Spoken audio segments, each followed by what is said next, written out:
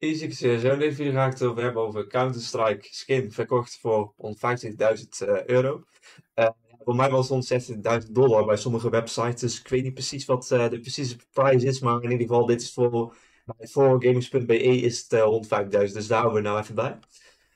via Chinese marketplace voor Counter-Strike Strike skins heeft iemand ongerekend over 150.000 euro betaald aan vervleurige AK-47 veel geld, maar blijkbaar wel marktconform.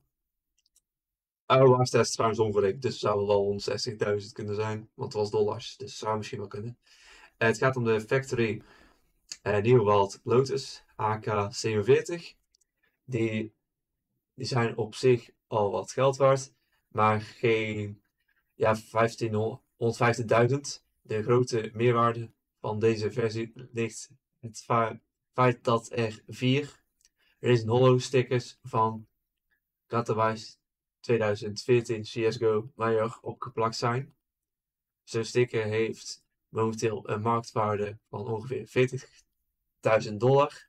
Dus als je alles bij elkaar optelt, vinden heel wat verzamelaars dat 150.000 euro voor de specifieke skin lang niet overdreven is.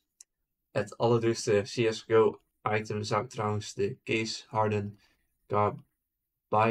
Carbide Knife zijn. Daarvoor werd ooit 1,5 1,5 miljoen dollar geboden.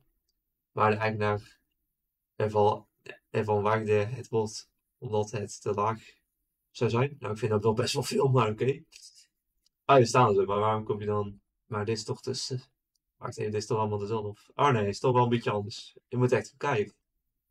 Als zij zeggen van dit is dezelfde, maar dit is blijkbaar niet. Uitwijzen. Maar hij zint hem dus op en uh, ja, dan is dan blijkbaar een ander of zo, maar ik zou ook niet weten hoe je dat zou moeten kunnen zien. Er zal misschien wel bij bedrijven of zo bij staan van een wapen. Want het is echt moeilijk te zien. Je ziet echt maar een heel klein beetje, zeg maar, dat een andere kleur is of een andere, andere stickers erop zitten.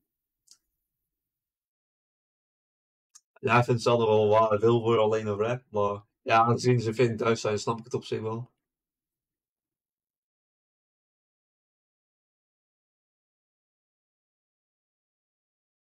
Alleen Lady Gas eigenlijk dan toch uh, niet te weinig gevraagd dan. Want uh, het zit 4 keer 4, daar zit ik eigenlijk wel op. Ah nee, het was wel op 8000, dus ja, nee, dan is het een... Dat kan wel weer voor die prijs trouwens. Dan heeft hij ook nog winst natuurlijk. Ja, dat was wel een beetje voor deze video. Uh, ja, voor de rest, uh, ja, ik heb niet zoveel hierover te zeggen, want ik speel ook niet echt CSGO, maar die vond ik wel even interessant om over te hebben. En ja, ik had het hele, ja, ik weet niet. Ja, zoals ik al zeg, als het echt heel geld op en misschien wil dit wel doorverkopen wie weet. Dat zou ook nog kunnen. maar in ieder geval, dit was voor deze video. Ik hoop dat jullie het leuk vonden en vergeet niet om te liken en te abonneren.